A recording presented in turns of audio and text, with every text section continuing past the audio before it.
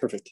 So as I said, some of the stuff we're going to be, you're going to end up just kind of doing on your own, but some of the stuff we're going to be able to um, be able to take a look at. So uh, we're going to go back to a lab table. I'm going to bring you guys with, let me see that we're um, looking at the right thing. Where's my camera?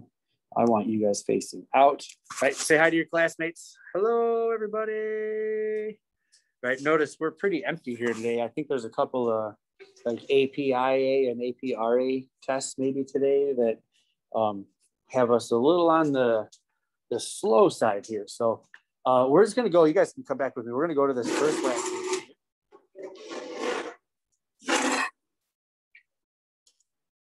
Uh, you can. You don't need to. It's come kind of up to you. Um, but we're going to take a look at this. I'm going to show you guys. Be careful because um, these are glass, and if they drop, they'll break. But um, at a, in a moment, I'm going to have you guys. I'm going to be able to show you guys the lens uh, through the camera. You'll be able to see, but just kind of take a look, you know, look at something that's far away, look at something that's up close, right? Remember what happened when we put the object, remember the object is what we're looking at, right? Remember what happened when we put the object really far away compared to really close when we had the convex mirror, right? Now we have the concave mirror, and I want you to notice what we have. So I'm gonna try to uh, do this without dropping my iPad, but you can see right? Through the lens, there's the stool. We're going to look at something that's even closer, right? You can see, um, oh, there's a glare right there. Let's find a different, there we go. Um, it doesn't really change much, even if we, right? Hi, Evan, welcome to class. Like you can see what happens when we've got objects that are even a little bit farther away, right? Like looking across the room at the computers and things like that, right? So just kind of notice what you see. Take a look at some things around you close to you, far away, all that different stuff. You know, hopefully you are recognizing that um, everything ends up right side up, everything ends up smaller, right? And everything is on the same side of the lens as what the actual object is, right? But nothing appears to be in front of the lens. Like if you remember the concave mirrors that we had, right? The objects actually, when we look, remember we had the light bulb trick that we did as people walked in the room. Everything looked as though it was out kind of in front of the mirror. This is clearly everything looks like it's behind it. Um, sorry, I have you guys like just staring at the floor, but um, the other thing that we're going to do is we're going to, and would you mind getting the lights for me, please? And this is a little harder to see, but we're going to, um, we've got kind of the light bulb set up to where we would project it onto a sheet of paper. You guys might want to come around for this. And you'll notice, right, there is no, um, hold on one second. Let me turn, let me turn this off really fast. That's a lot of light.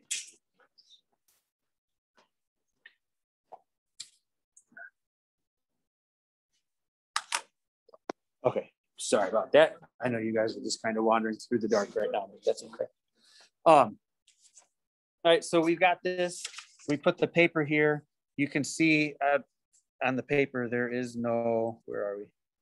There, sorry. There is no image, right? We don't even get the light of an image. You can kind of around the edges, not really on the on the zoom, but you can see some some light kind of around the edges from it being scattered out. But right, we don't we can't project an image using a concave lens like this. It just doesn't happen right?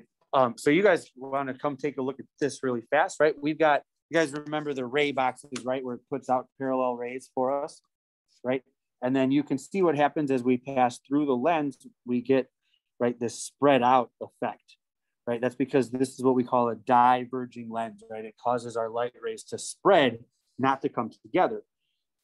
But, sorry guys, if you were to try to trace back, right, these lines here, you would see that they look like they're all coming from kind of one central point right here. That's the focal point. But because the rays don't actually go through the focal point, our focal point is a negative focal point for a concave lens, right? So that's something that we're going to want to have, we're going to want to remember too. Because the rays don't actually go through there, they just appear as though they're coming from there right? This ray, if we didn't see all the rest of it, if we just saw this ray right here, right, it looks like it's coming from some spot over here. There's nothing sending that light from there, right? It just looks like that because it looks like it's coming from that focal point, not actually coming from that focal point. We make our, our focal distances negative. So for a concave mirror, you want to remember that our F is always going to be a negative number. Right? Um, and you'll see that these rays never actually come together, right? So that's a little bit different for us too. So when we go to do a ray diagram, just like we did with, if you remember the, the, con, the convex mirror, right, where it kind of spread all the light out, we're gonna end up tracing light rays back with our dotted lines in order to find out where the image actually would appear to be. And that's actually what we're gonna do now is spend a little bit of time going over um, ray diagrams and, and taking a look at that. Why is there a shadow? What do you mean? Like this little shadow, like right here. Uh, it might just be from where, because you get one, this thing's just not perfect, right? So it might be from some light that's coming from up here, but not, yeah, it's just from a not perfect lens type of thing. So the focal point will be negative, right? And then, Yes. but like, isn't the source of light coming from like there? So, so like, it's kind of confused. So remember, the light source is our object. Technically, when we do that, is the light source, right? We see Oh, things because the light reflects off of things, right? Like you don't you don't actually see me. You see the light that reflects off of me, right? So that's where, like, when we do our ray diagrams, we draw these light rays that, like, oh, I'm not actually emitting light, but the light rays that bounce off of me are what's going to pass through the lens to be seen. So does that mean like all the stuff we've already done, like and like the ray diagrams for refraction were convex and that we're just now starting concave or what's the difference? Yes. Okay. So yes, those were all we've all we've done all convex lenses, and now we're going to do concave lenses. Okay. Exactly.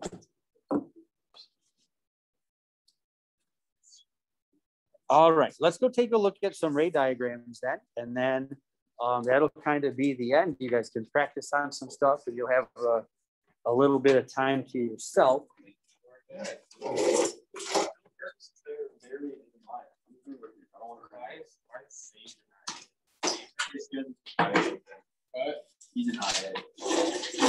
That's sucks.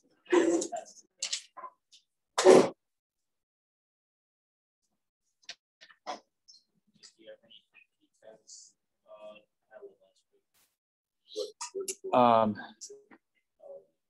all right, so let's go back. I need to. I was on back, I got a shirt. I made a shirt. You make a shirt? Yeah, Chase made a shirt and it says like twenty dollars. Yeah, that's all we do. Um, what do I need to do? Oh, that's right. Go on to Zoom. I need to jump onto the Zoom here. New Haven is a guy. Awesome. And He makes it. like- I'm going to share my screen again.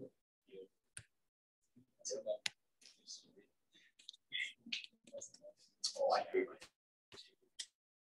it. So you're just going to, oh, sorry, guys.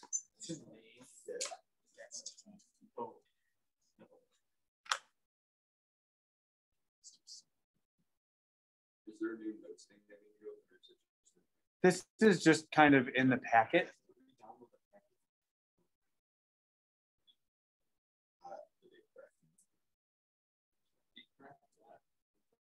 Well, there was a whole. So I'm going to, oops, um, I guess it's page 38, maybe. It's just a couple of concave lenses. 37, is that what it is? Thank you. I keep forgetting that I added a page. You guys at home are seeing the, the lenses, right? You guys are seeing the pictures?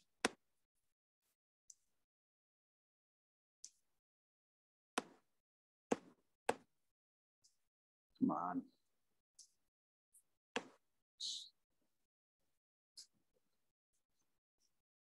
right now there's nobody. Can you guys hear me okay? Yep. Oh, okay.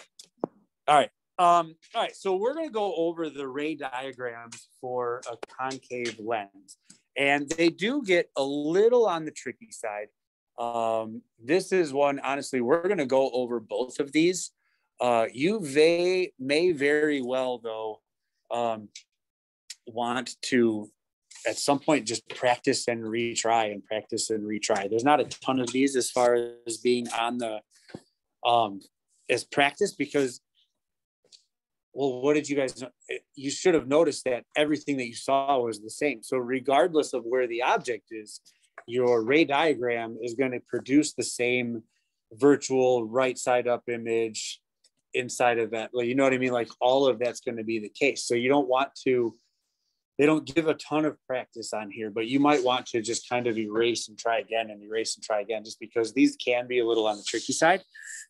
However the rules are still the same right so we're going to and you might it just to make it a little easier um, something that i'll do because technically if you remember we treat everything at that center of the lens so it might make it easier for you if you were to go ahead and drop a line just straight down the middle of your lens. You don't have to, but remember with lenses, technically you get a bend when you go from air to the lens, and then another bend when you go from the lens to the air. But we can just treat it all as if it happens at the middle, right? So for me, anyways, it makes it a little bit easier to drop that line down the middle, um, just so that I've got it there and I'm not trying to like estimate things. But whether or not you do it or is completely up to you. Um, so remember, there's going to be three basically incident rays that we're going to want to look at, right? We're going to want to look at the incident ray that goes in parallel, the incident ray that looks like it's going to go through the far focus, and then the incident ray that goes straight through the vertex. Okay. Um, so just as before, and I think I'm using the same colors as before, we're going to go in parallel. Right? So we go, that's not very parallel. Let me try that again, I'm sorry. Right, we're gonna go in parallel and then we um, go out as if, and this is where things get a little on the tricky side, right? It bounces out as if it's coming from the focal point, right? So we can just kind of do this line that goes from the focal point through there. And that's our actual ray. And then remember that this one though, we want to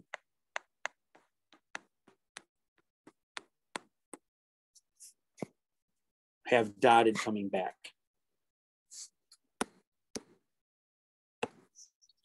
And put little arrowheads so that we remember what direction we're going, right? So in parallel, out as if it's coming from the focus.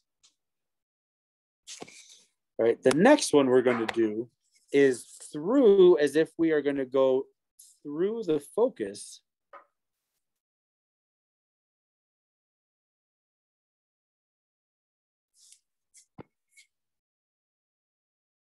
And then it comes back parallel but remember, then this is where it gets a little on the tricky side, right?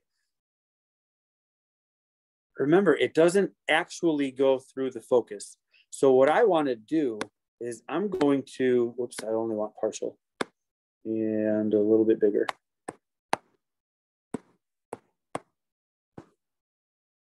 I need to erase that line because it doesn't actually go through that focus. Right. Remember, at this point, the next when it goes in as if it's going to the focus, it comes out parallel.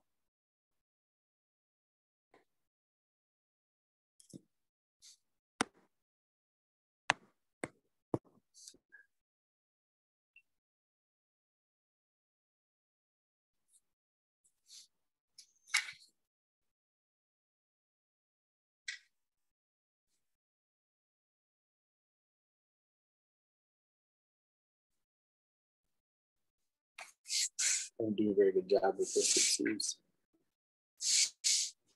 Because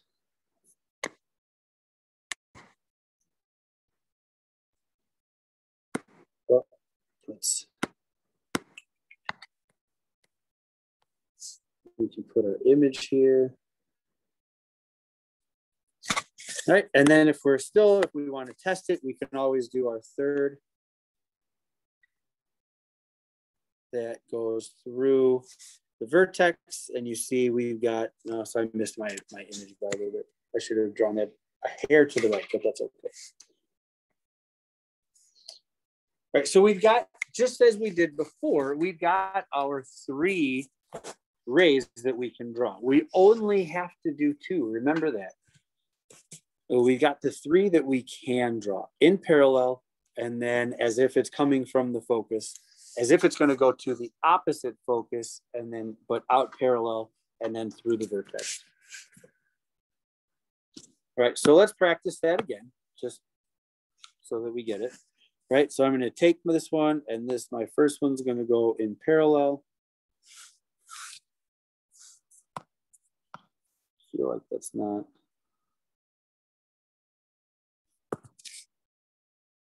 Is that what parallel to you?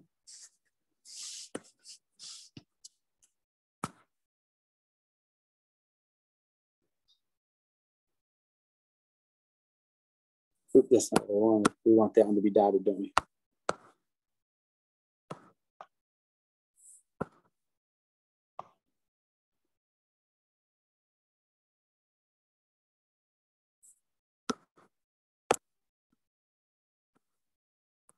how you choose to do this, if you want to have it do that or kind of notice I did it two different ways.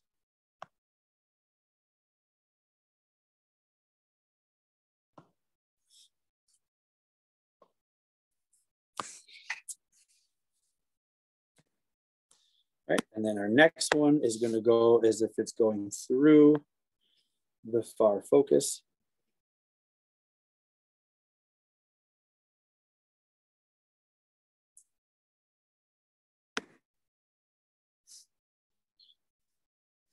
Um, right, but we don't actually want that to be there.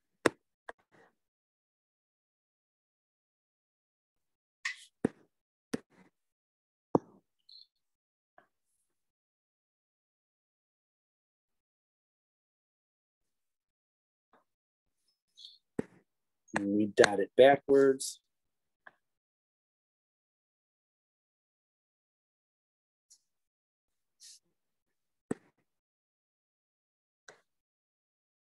And at this point,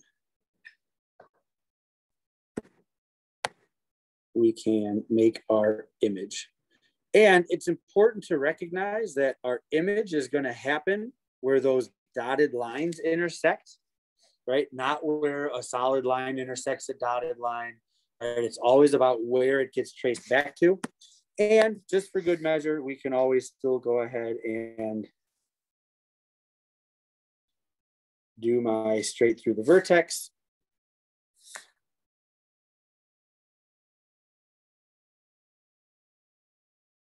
And again, we'll notice that that also goes right through the tip of my arrow, which means I did an okay job with the first two. Right, so three rays for the ray diagram. In parallel,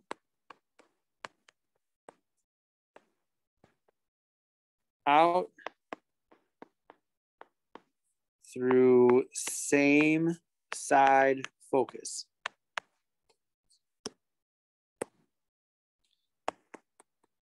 In through opposite side focus. Whoops. Combining my words.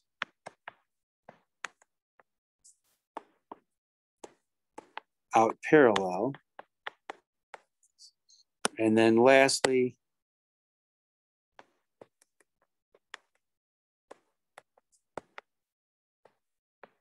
straight through vertex.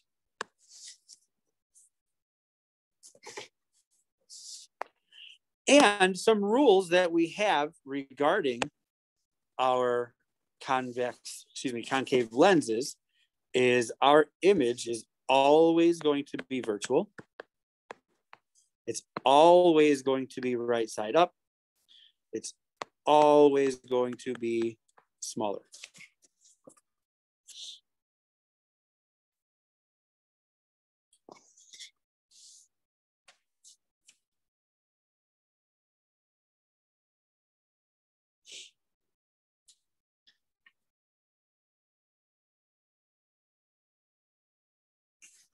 Right? So again, kind of like with the, and this is what's crazy because the concave mirror is like the convex lens, and the convex lens is like the con.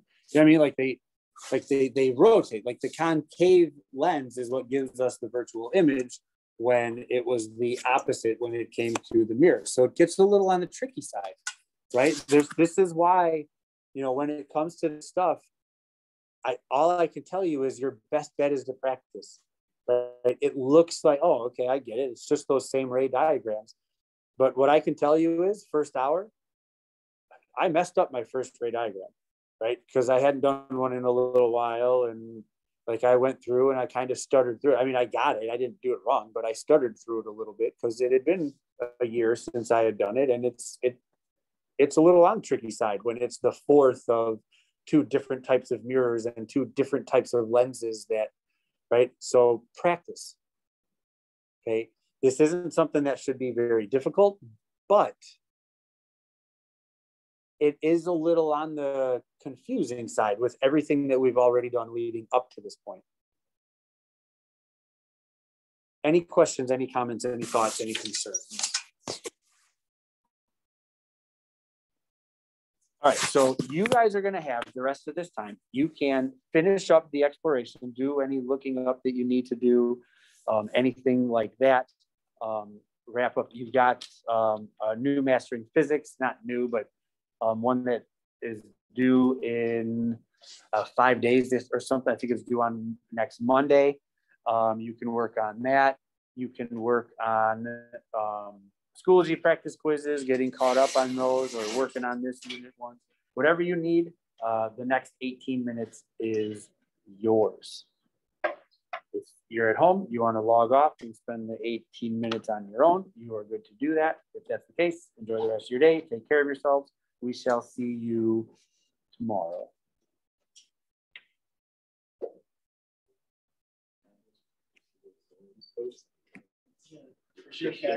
All that's overrated. He, he told me why. He said that about you were useless.